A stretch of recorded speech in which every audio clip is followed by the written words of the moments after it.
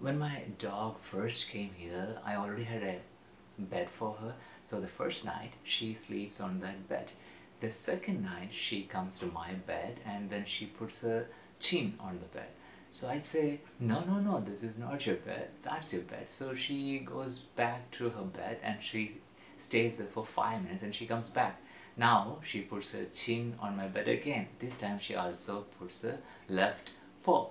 And then I again tell her, uh, no, no, this is not your bed, that's your bed. So she goes back, but she comes back around through the head side of the bed. Now again tell her, I push her away, so she walks around and comes through the uh, feet side of the bed.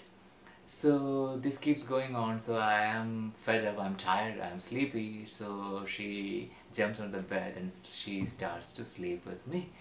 So she would slowly closer to me, so I move back and then she cl moves closer to me again, so I move back.